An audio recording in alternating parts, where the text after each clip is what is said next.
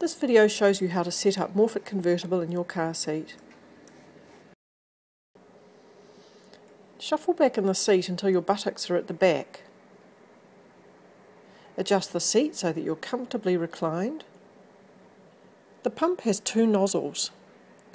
Place the tube on the nozzle labelled floppy to start and pump about 10 to 15 times.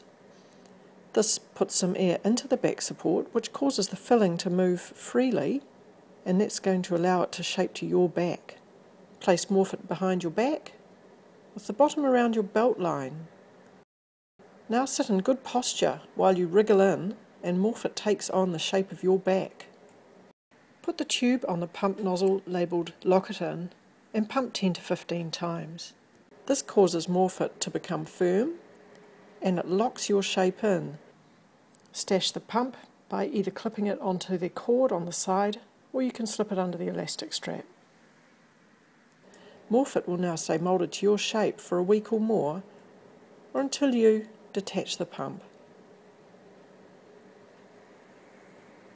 So to release the shape, simply remove the pump.